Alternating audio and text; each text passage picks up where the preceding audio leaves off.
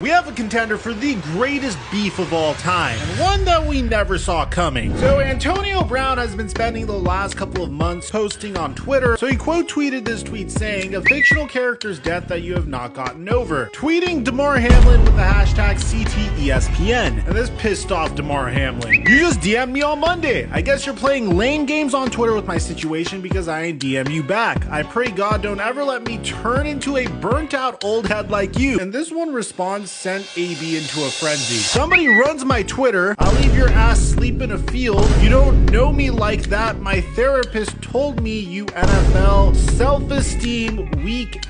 And I think this is the best part of all. DaMar Hamlin shows his DMs with AB saying, you've been in my DM over a year talking to yourself. You were supposed to be an example setter. Now you're the biggest weirdo we know. Get off of Twitter and go do some work with some kids or something. Hashtag pray for AB. Ladies and gentlemen,